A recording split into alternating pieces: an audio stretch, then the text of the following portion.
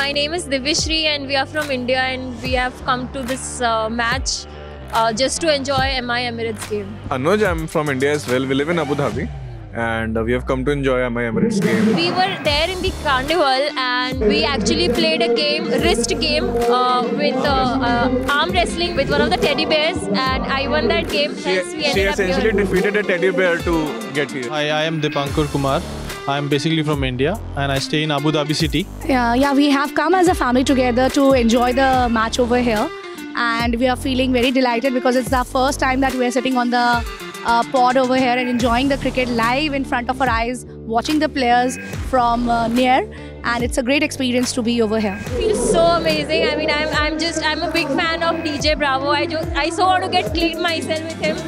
I, I am just wishing that I get myself clicked with him after this match, and it feels amazing to see this match. Basically, we wanted to give the experience to our uh, both the kids also, uh, so that they can see and view how closely the players play and uh, watch the game.